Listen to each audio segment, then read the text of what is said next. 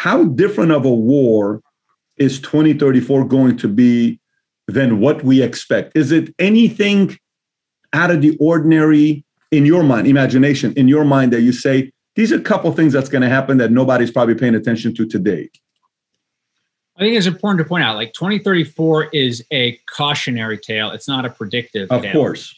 In so much as we're not trying to predict the exact technology, but we're trying to show like this, these are the trends, and you hit it, the evolution of war.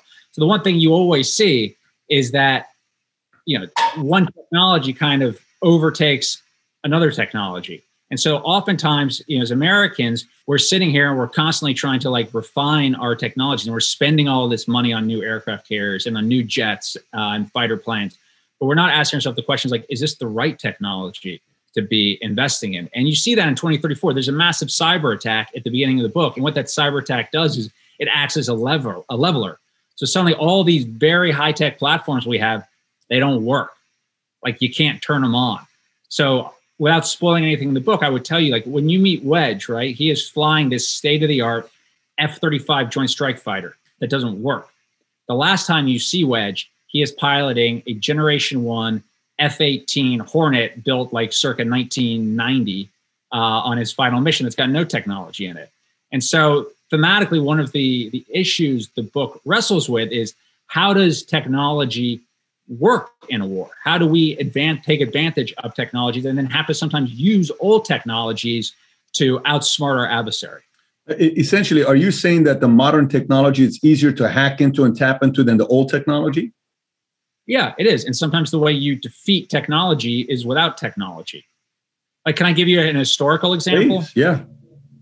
So, like, um, I'm a history buff. One of the one of my favorite battles I've studied is the Battle of Agincourt which was fought in 1415. It was made famous by William Shakespeare in the play Henry V.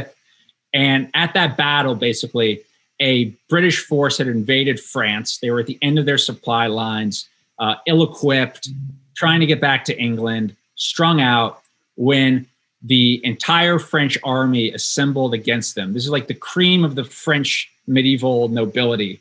And they were decked out on the battlefield of Agincourt, the French, with what was the most state of the art technology at the time. And that technology was plate armor.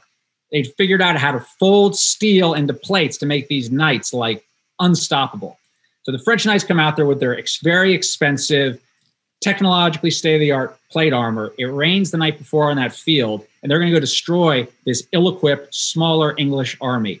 They go and charge across this field, and they kind of get bogged down in the mud because their their armor is so damn heavy and the French and the English have a totally different technology that is far less far less expensive, um, and that's the longbow.